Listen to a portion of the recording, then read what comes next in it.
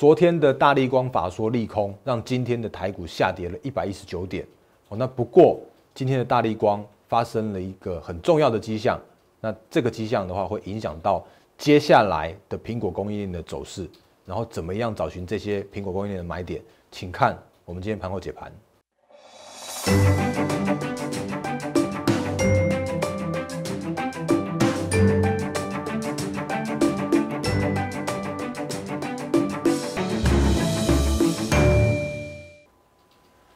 各位投资朋友，大家好，欢迎收看今天二零二零年七月十号星期五的《忍者无敌》，我是莫证券投顾分析师陈坤仁。各位投资朋友，今天是星期五，那依照惯例还是一样，预祝各位投资朋友周末愉快。那可是今天的行情呢，却有一点点的一个变化。哦，那是什么样的变化呢？其实我在昨天的影片，甚至在今天早上的盘前解析的时候啊，我我我想，诶。会做到一些提醒的这样子一个动作。好，那我们先看一下昨天的影片的一个标题。来，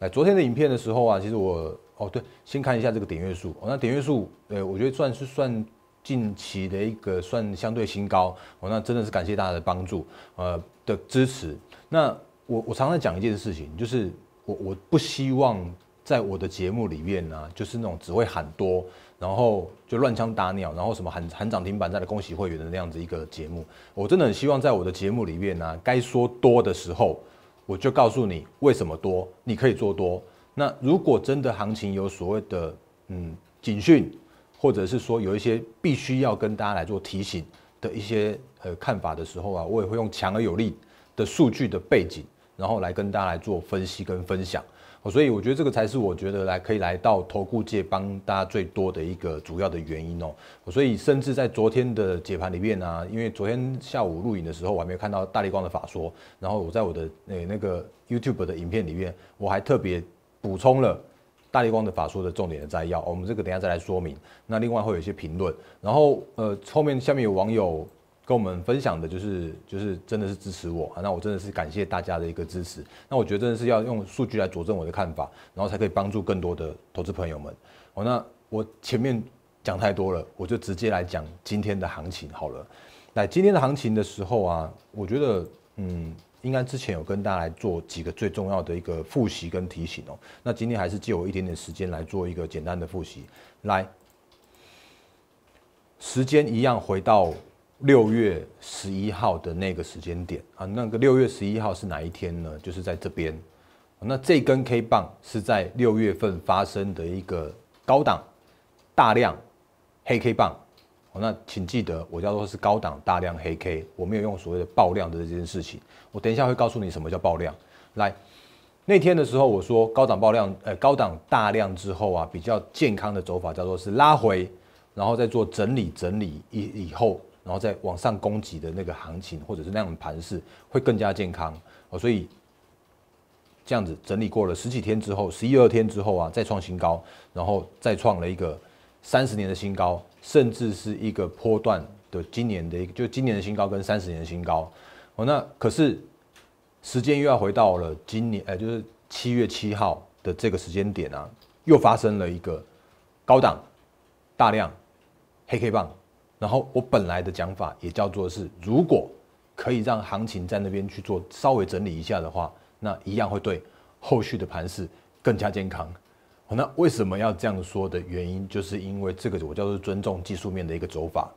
就是如果技术面是用这样来走下去的话，那确实是一个比较合理而且健康的一个状态。可是这一次就跟上一次有一些些的不一样了。哦，那什么样的不一样呢？我们就我就直接跟大家讲答案。哦，那我不晓得今天时间够不够用。来，上一次的这样子一个整理的过程，然后它是台币在升值的一个趋势的状态，然后甚至它是一个比较明显的一个拉回之后的一个整理。可是这一次，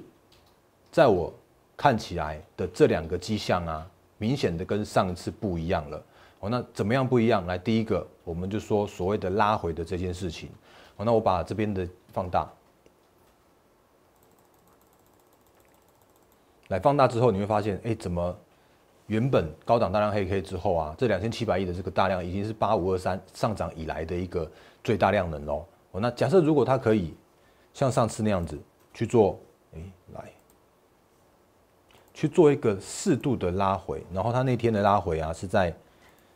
不到月线，然后就开始在做一个盘啊盘盘啊盘，对不对？有没有？然后可是这一次啊，发生了一个高档大量之后，它并没有所谓的拉回，然后它就试着要往上创新高。那这样的创新高就会发生了一个比较大的问题，叫做是如果在这个创新高的过程中，然后量能却没有办法继续的一个补量再补量去往上攻击的时候啊，就会发生一个高档的一个追价，然后是那种多方追价无力的一个状态。好，所以在在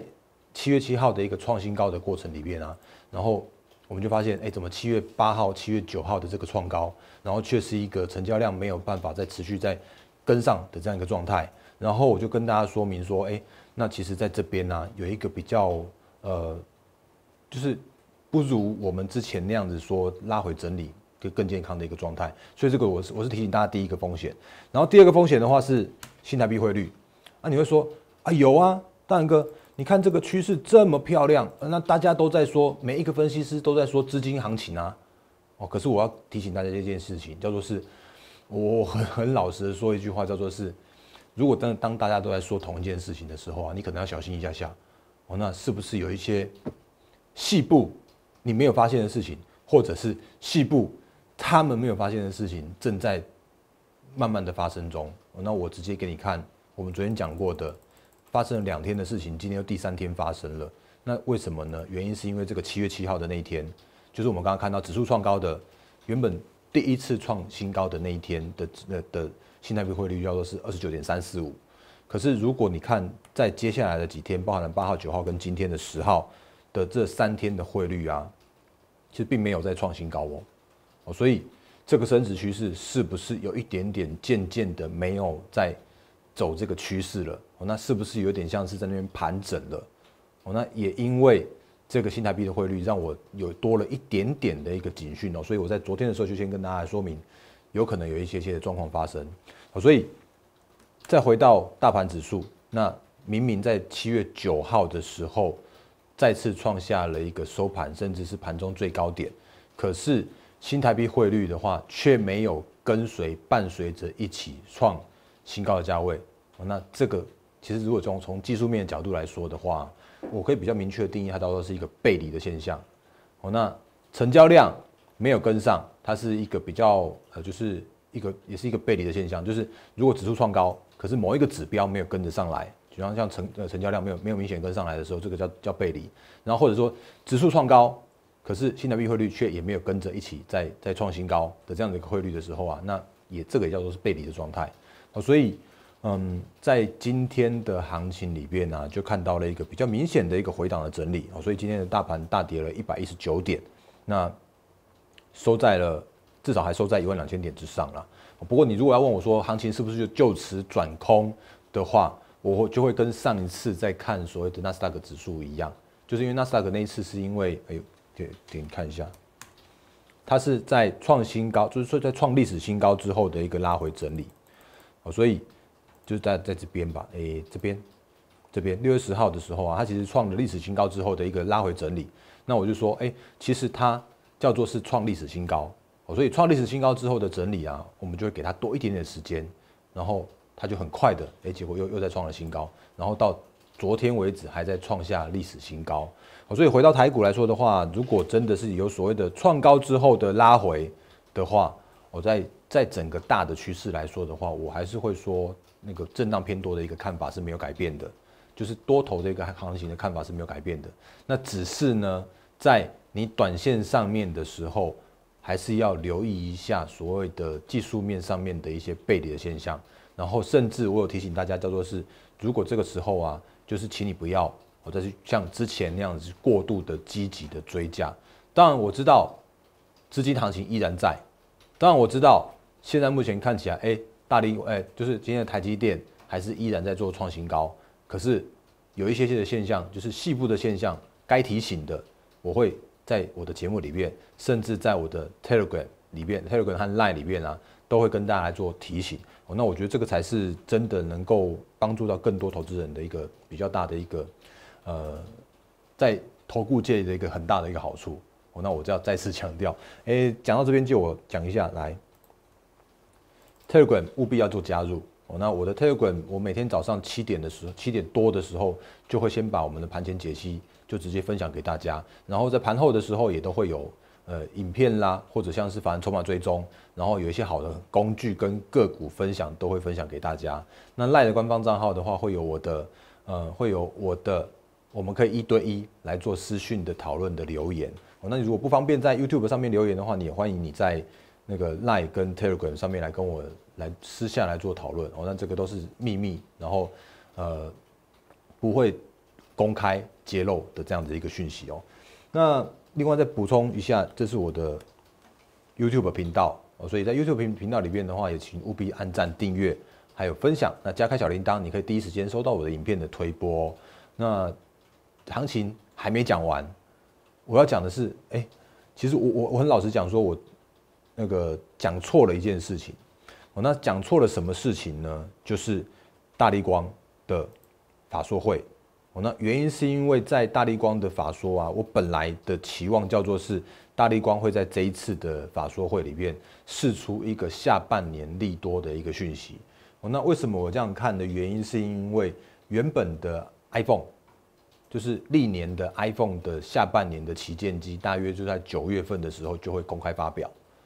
然后就会在六月和七月的时候啊，这个营收包含大力光，包含了苹果供应链的营收就会开始，就是从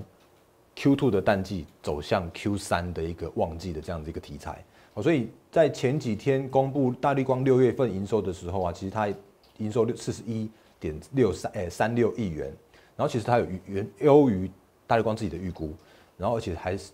有一个月增大概接近七 percent，跟年增一点四八 percent 的那个这样的状况，所以那甚至像是那个玉金光的营收啊，也有创了今年的新高哦。那年增的话有三成的部分，可是竟然他在昨天的时候讲了一个，就是七八月来看一下，我这边有做补充嘛，来，他这边讲到一个叫做是 Q 三的旺季不旺，而且七八月的弄。动能拉货动能竟然跟六月叫做差不多，而且九月的订单呢叫做是看不到哦，所以今天的大力光就造成了今天的台股的指数的一个下杀的主要的原因。那今天的大力光来重挫了九点四八的 percent。那当然，苹苹果供应链的相关的个股，像玉金光也被它拖下去了嘛，然后就跌了五点五 percent，然后甚至像是大家喜欢做的这种华通也跌了七点八六 percent。那另外的话，像是这种我不用讲太多档，大家看再看几档就可以。来，真顶的话也下跌了四点六八 percent。我所以，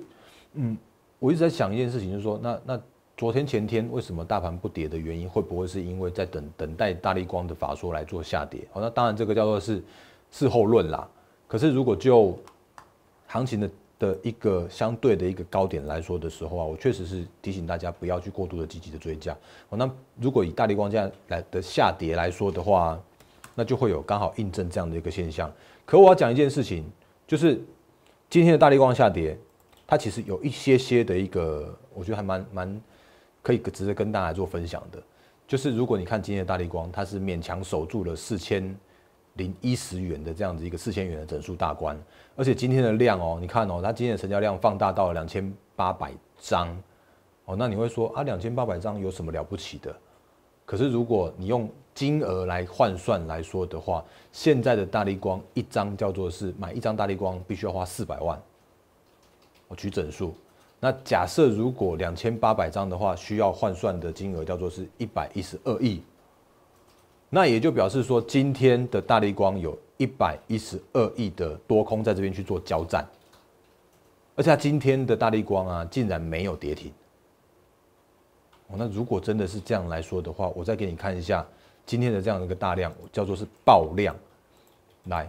你有看到今天的量在更早之前是什么时候发生的吗？哦，那那天的话是在二零一九年的六月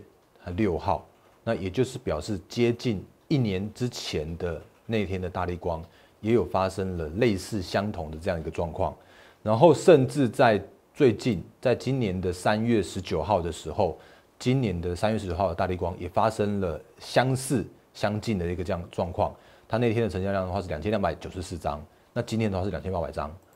那在这几天的成交量在我我认为这叫叫做低档了哦。那原因是因为我一直觉得他们是一个评价偏低的一个状况，包含了大力光跟台积电。哦，那假设如果真的能够在这个相对的低档区发生了一个爆量的这样的一个现象的时候，哦，那这个这个量啊，其实是值得你去做一个呃指标的。哦，那为什么我要说这样的指标的原因，是因为在大家的心目中，还是觉得大力光它是终究还是一个高阶的智慧机，甚至是 iPhone 很重要的一个供应链的一个象征性的一个指标股。好，所以假设如果今天的大力光在这一个一千啊不一百一十二亿的这样的一个多空交战的这样的一个状况来说的话，那假设如果今天的低点不要再破的话，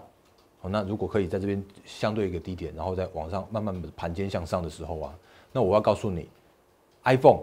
叫做是只是递延，不是消失，因为他说九月看不到，那很有可能就是看到的状况叫做是搞不好下半年从九月十月的这个营收啊，真的就这样拉起来了。哦，那大力光没有骗人，我我认我一直认为大力光跟台积电他们的法说会的内容都是非常非常值得去做参考的，而且他们两家真的都是股王跟拳王，真是非常非常中肯的一个讲法哦。所以如果就这样来看来说的话，我会提醒大家留意一下今天的大力光的低点，那是否能够守得住？那如果守得住的话，那很有可能这之前的一个现象会再次发生。那你会说啊，大仁哥，那个大力光一张四百块，哎，四百万，这我不会去买啊。哦，那我不是叫你买大力光，我是告诉你，你可以借用大力光来看所谓的苹果供应链的一个状况，或者是说你用大力光来看所谓的高阶的手机的相关的一个供应链的这样的一个状况。那甚至我会告诉你，比方说我们之前说，像你可以用恐慌指数，或者你可以用美元美元的指数来去看美国的一个股市的一个状况，那你也可以用台币汇率。来看台股的一个状况，那这些相关的指标，它都是很重要，会可能会去影响一个大的族群的这样的一个观念，哦，所以这个是一个，哎，做一个小小的补充，所以在大力光的一个法说，它既然有一个比较属于悲观的法说，而且它的股价是用这样子爆量的方式来做反应的话，那我真的要提醒大家特别留意现在目前的一个大力光的一个状况，然后另外的话呢，再次然后然后再讲到是下礼拜，因为。通常大力光完之后就会有台积电的法说，那就通常都是差一个礼拜啊，所以下个礼拜礼拜四，那台积电也会有召开它的法说会。那台积电法说会的时候，你可以注意一下他们对于下半年的一个景气的看法，甚至因为他其实前一阵就就说过了，他觉得那个手机确实是比较疲弱一些些，可是因为五 G 还有叫做是高阶，就是高速运算的这样两个相关产业的这样的一个高速成长，就是。爆发性的成长啊，然后去抵消了手机的这样的一个下滑的风险。所以我刚刚看到，对台积电也公告了它的营收了。那台积电营收我刚刚看到是也是近三成，然后又创新高，而且月增哦，月增近三成，二十八点八 percent，然后年增的话还有四十点八 percent。啊，所以五 G 目前看起来还是下半年可以值得去期待的一个族群。然后另外的话，像高速运算这些相关的，也是一样可以提醒大家的。那还有我再继续讲一下，就是说在现在目前的一个行情啊，就是叫做是虽然看起来叫做是相对的高档，哦，那可是叫做是如果可以再整理一下的话，会在更健康的这个看法是依然没有改变的。然后选股的方向的话，依然可以去寻找，就是我们刚刚前面提提到的那几个供应链。哦，那苹果的话。那就可能就稍微递延一下下，那你看一下台积电，哎，你要看一下大力光是不是可以在这边去做守住低点的这样子一个诶意志，或者是说这样子一个动作。然后另外我要再补充一个小小的事情哦，就是在我的诶昨天的影片里面呢，有投资朋友在留言，就是为什么就是为什么最近身家那么样的弱势？还有一个有一留言跟我讲说，他其实那个。每一集都有暗赞，那这个我真的没办法了。我真的就是，你只要讲到这些关键字，我就一定会回复你。哦，那只是说，因为那个这位投资朋友问到的叫做中探针，可是中探针真的是一个很冷门，而且它的股性真的是超活泼，而且它的量啊，有时候大，有时候小。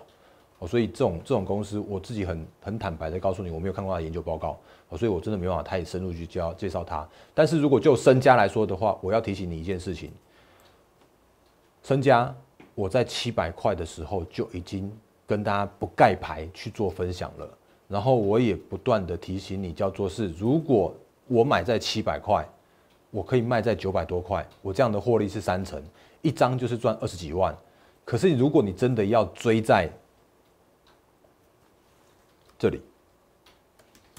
追在九百块的人的时候啊，你就要去考虑到一件事情，叫做是他真的有千金的实力。可问题是你如果从九百块去买它的时候啊，那试问你从从九百你要报到哪里？如果你真的是叫做是挑战千金报到一千块的话，你只有十 percent 的一个报酬。所以，我我我在我的操作理念来说的话，我都会提醒大家一件事情，叫做是，请问你要用多少的风险去换多大的利润？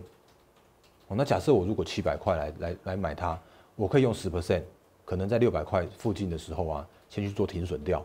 可是我可以换到九百块这样子一个很大的报酬。可问题是，如果当你在九百块去做买进的时候，请问你的，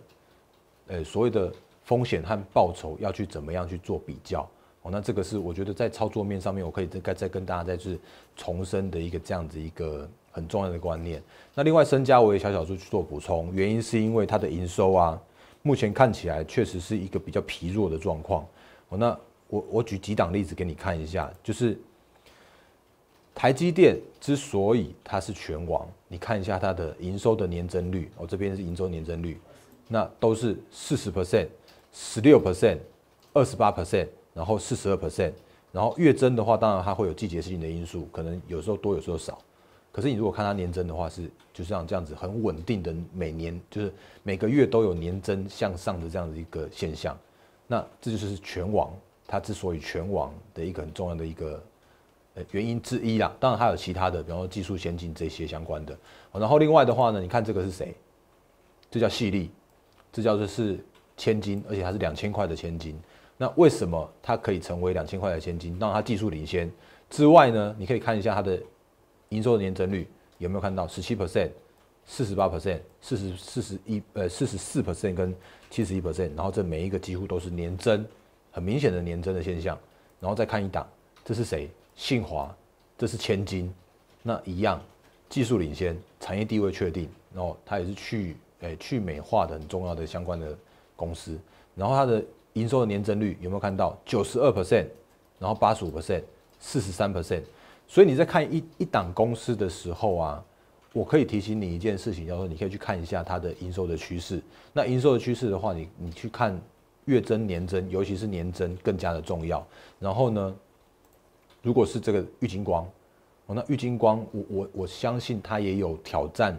千金的这样一个实力。哦，那原因是因为我先看一下大力光好了，来，大力光的状况叫做是，你看哦，它到它四月、五月的时候还在年减，然后好不容易从六月的时候开始翻成年增了。可是呢，你看玉金光却是它能够一直年增、年增再年增的这样一个现象。好，所以它不但它不但接到了苹果的订单，而且它的所谓的毛利啊，很有可能是也跟着一起哦，有去做良率的提升，然后毛利率的提升了。这个是我在推测的。所以，比方说，再回到投资朋友问的这个是身家哦，那身家的话，五月份那时候我们有跟大家分享过了，年增的时候它是年减的。那六月份营收刚开始刚开出来，然后它也是年减二十四 percent 哦，所以。嗯，再次提醒你一件事情，就是你在操作的时候啊，有一些咩咩嘎嘎的的一些，嗯，操作面上面的一些很重要的指标哦，那也请你务必再做一些留意哦。那比方说营收的年增率的话，这是还还蛮不错的一个，可以值得来跟大家做分享的啊。因为刚好有投资朋友在我的影片上面去做一些留言，而且这个这档股票真的是我之前分享过的，而且我已经提醒。那个相对高档的风险的，那就再一次用那个营收的年增的这样子一个观念来做一些些的分享。然后我觉得时间到节目最后了，那我的节目再次提醒大家，就是我是陈坤仁分析师，我是摩尔证券投顾合法合规的分析师。但是你在我的节目里面，你不会看到我在那边乱枪打鸟，你不会在那边看到我说哦我多厉害，什么什么股票是涨停板的。然后我会告诉你我看到了什么，我会用数据。来佐证我现在目前的看法。那假设如果我真的有诶看错，比方说大力光法说我就真的是看错的一个状况的时候，我会告诉你，看错之后你应该怎么样去再观察它的一些细部的指标，或者是后续的一个发展的这样的一个相关的一个的那个咩咩嘎嘎的部分。哦，那我之前分享的股票，如果你要继续问我的话，我觉得呃，我尽可能还是一样告诉你。但是如果当我在提醒你风险的时候，那就请你要听得懂我在讲什么啊，因为我不能告诉你买卖点，但是我要告诉你的就是那个相对高档的风险在哪里的这样的一个问题。来赖跟 Telegram 也务必来做加入。你如果不方便在 YouTube 上面做留言的时候啊，你可以在赖跟 Telegram 上面来私讯来做问我，然后。YouTube 也务必来做订阅、按赞、分享，然后加开小铃铛，你可以第一时间收到影片推播。那一样，今天星期五，预祝各位投资朋友周末愉快。那下星期的行情会怎么样发展？我们再来跟大家做分享跟补充教学。谢谢大家，谢谢。摩尔证券投顾零八零零六六八零八五。本公司与所推介分析之个别有价证券无不当之财务利益关系。本节目资料仅供参考，投资人应独立判断、审慎评估，并自负投资风险。